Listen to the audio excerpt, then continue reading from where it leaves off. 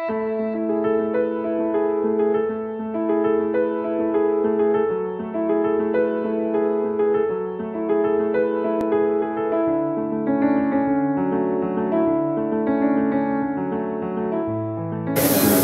I'm about to do now is to drill a little pilot hole there and a little pilot hole there.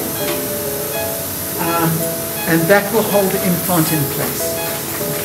Obviously we're going to make a little pocket at the back here to put that coil part of the process of the uh, uh, implant up under the skin and then we're going to screw the implant in. That's basically all it is. It look like. This is just a rough a template or a, or a this is what it basically, this is basically what it, what it looks like. So that's going to be implanted in. That'll be screwed in. There's a coil there of the magnet, and then that goes through to the transducer, which which then this vibrates. The sound goes through through the transducer, and then vibrates.